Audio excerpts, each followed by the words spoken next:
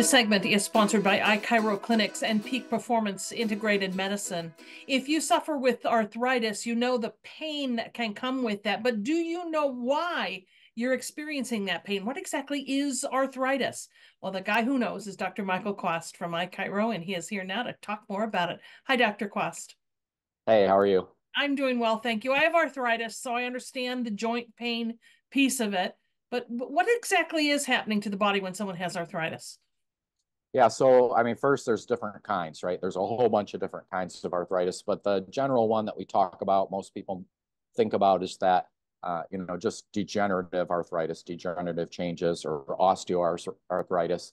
And people think it's just from getting old. And a lot of times we even hear that. I mean, I have people come in regularly. We just had a guy came in, his hip was all giving him fits, and the the doctors wanted to do a surgery on him. He didn't want to do a hip replacement, so he's like, "What do you think?" And you know, we looked at everything and I'm like, yeah, it's pretty bad. And I asked him, I said, why did you like think you got this arthritis? What did they tell you why you have it? And he goes, well, it's just because I'm old. And I go, well, hold on a second. Your one hip's got it. How's your other hip? And he goes, well, that one's fine. And I'm like, well, why would one hip wear out from arthritis and the other one not? They're the same age. Like, it's not just age or every bone in your body would be worn out exactly the same as the others.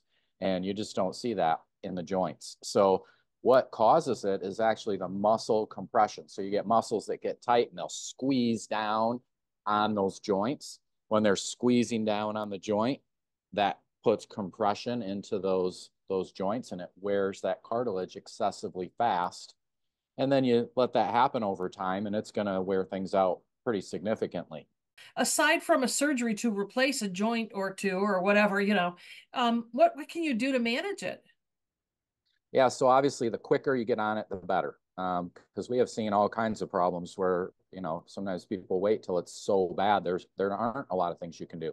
But oftentimes, even with bone on bone, there's many, many things you can do to get symptomatic improvement for that patient, especially with the regenerative therapies now, where you can actually try to regenerate some of those uh, those tissues that are involved in that. Uh, one of the big ones is just using, you know, therapies to decompress the joint, meaning working the muscles to retrain them so they're not compressing it anymore. And oftentimes people feel great. We had a guy come in recently and he had both knees completely bone on bone. And he was 80 something, so he didn't want to he didn't want to do the surgery to do a two knee replacements because it's risky. Yeah. So he he's like, what do I do? And he couldn't uh, financially he couldn't afford to do any of the regenerative therapies. Uh, however, he could do some of the stuff that his insurance covered, which was the therapy work. So I told him, I go, just give us six months. We'll work on we'll work on the therapies. Worst thing is you're going to be moving better, even if your mm. pain doesn't go away. And literally in three months, all his pain was gone. Wow. Now we didn't we didn't change the bone on bone of his knees. He still has it but his symptoms are gone. So that tells you that it's not just the bone on bone, it's what's causing the bone on bone, which is that deep muscle is compressing. And as we got that working better, now he's active, he's up, he's doing what he wants to do.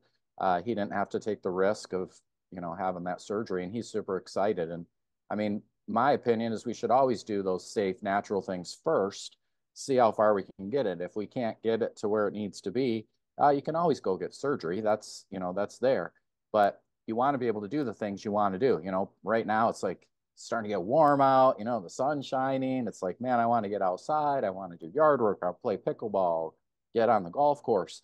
And these, uh, you know, aches and pains in the joints, those need to be addressed if you want to keep doing that and have a, the best quality of life that you can. Mm. Well, that is for sure. Well, folks, if you want more information or to go ahead and book an appointment with the iChiro team, you should call the number you see there on your screen. It's 616 656 1830 or visit iChiroClinics.com. Dr. Quast, thank you so much. Thank you.